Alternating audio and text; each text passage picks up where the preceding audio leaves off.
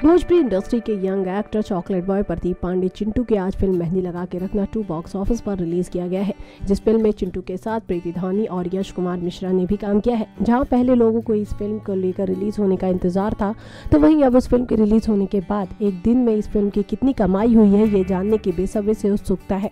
वैसे एक दिन में किसी फ़िल्म की कितनी कमाई हुई है, ये तो जान पाना मुश्किल होता है, लेकिन लेकिन सिनेमाघरों में लगे भीड़ से इस बात का अंदाज़ा लगाया जा सकता है कि आखिरकार फ़िल्म हिट हुई है या फिर फ्लॉप या फिर फ़िल्म का पहला दिन कैसा रहा दर्शकों के लिए, ये जानना ज़रूरी हो जाता है। गौरतलब है कि प्रोड्यूसर अनंजय रघुराज की superstar Pradeep Pandey, Chintu star, Bhojpuri film नहीं लगा के रखना पार्ट टू साल 2017 की सबसे बड़ी ब्लॉकबस्टर भोजपुरी फ़िल्म नहीं लगा के रखना का सीक्वल है। वैसे इस फ़िल्म से जुड़े हर किसी को ये उम्मीद है कि ये फ़िल्म बॉक्स ऑफ़िस पर काफ़ी धमाल करेगी।